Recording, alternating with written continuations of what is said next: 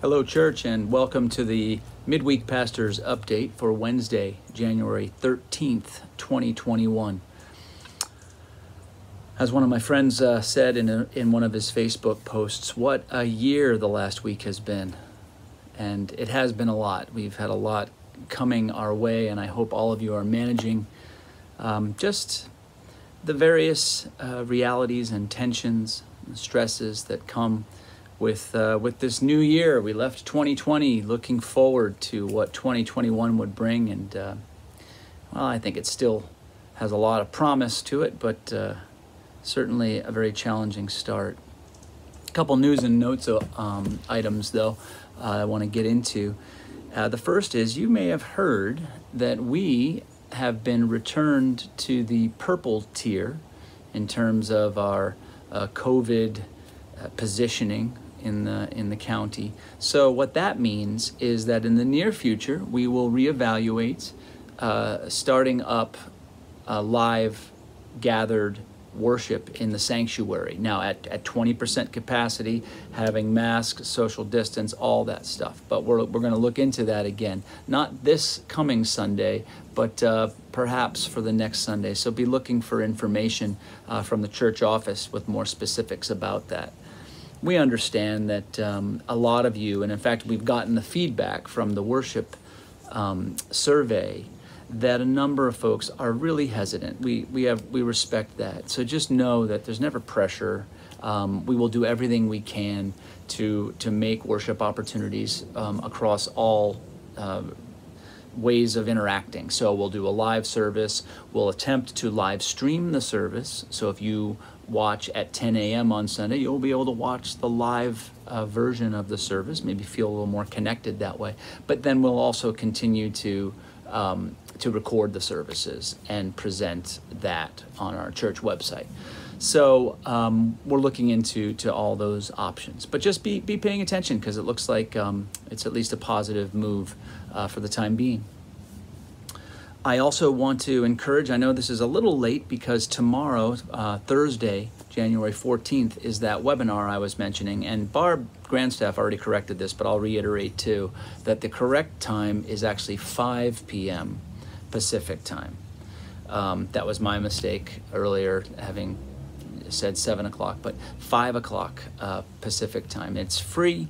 It does require a registration, though, but it's a webinar that's really uh, allowing different directors and speakers from agencies that we work with uh, within the church, and many of you know, just to kind of give you an update of, of how they've been managing over this last year, what they've been doing, the creative. Um, uh, resiliency that they've uh, been able to find to, to get the work done and to meet the need as they find it. So I think we could all use something uplifting. So I would encourage you to consider uh, signing up for that webinar. Again, that's Thursday, January 14th at 5 p.m. Pacific time.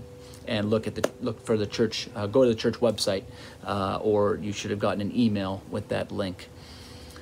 Um, Oh, I want to say once again, thank you for all of you who are continuing to send in funds, uh, supporting our, our effort that we've just recently created to assist individuals and families in the Auburn community uh, who, have, who have specific need related to COVID, loss of job, uh, being sick. So, so far you have donated nearly $3,000 um, that might have come from your stimulus, stimulus money, but it also just might come from your own generosity, your own heart. So thank you all for that support.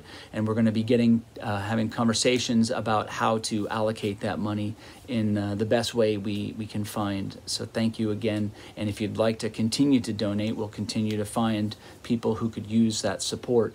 Uh, please do send a check to the church. And then in the memo line, just write FCC uh, COVID Relief Fund. So thank you very much again. Well, like many of you, it's just been an overwhelming time of um, trying to take in all the information coming our way with what happened in the Capitol last week, then in the responses to it, and the anger and the back, back and forth and the accusations, and just how hard it is these days to access uh, truth or even a reality that that we all seem to be able to agree on. I, it's just it's just such a challenge. It's just it's it's it feels insane sometimes. um, how hard it is for us to find common ground in what um, seems like there should be some areas, and I trust that there are.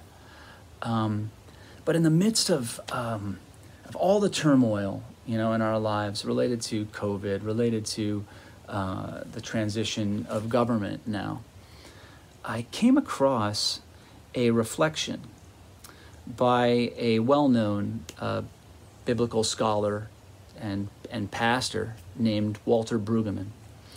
And what he did is he, he was reflecting on uh, a wonderful passage from 1 Samuel chapter 3. And right at the beginning of that chapter is the story of the call of the prophet Samuel. And it's that classic story where Samuel has a teacher named Eli, and, and Samuel is a young a young man at that point, and, and he's he's just going to sleep, and he keeps getting woken up by a voice that says, Samuel, Samuel.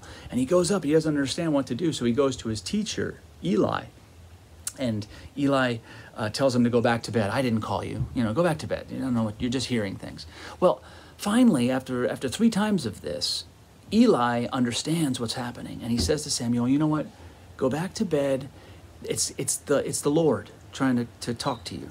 Okay, so next time you hear that voice calling you, you, you say, I'm your servant. Tell me what you want me to, you know, what do you want to tell me? And so Samuel does this. The voice calls him one more time but says something really challenging to him.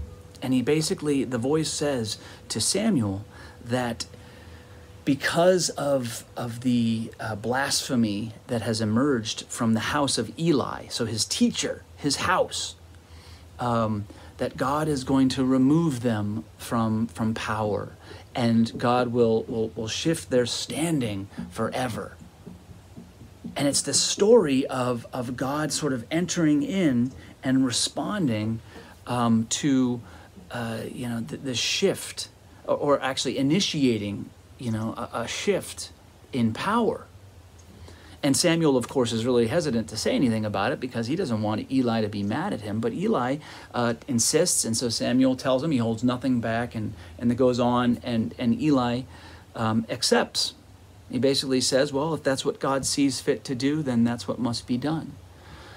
And it's just this powerful story, um, not only about Samuel's call, but just about um, the, seed, the, the, the seeds of change and how they get initiated and, and when change happens and how it happens. And of course, uh, Brueggemann's reflection actually kind of picks up on themes that are very close to what a lot of us um, have been going through, have been have been attending to, have been watching over the last week or so. And so um, I just want to offer this reflection uh, that, that he wrote, and it's called Holy Regime Change.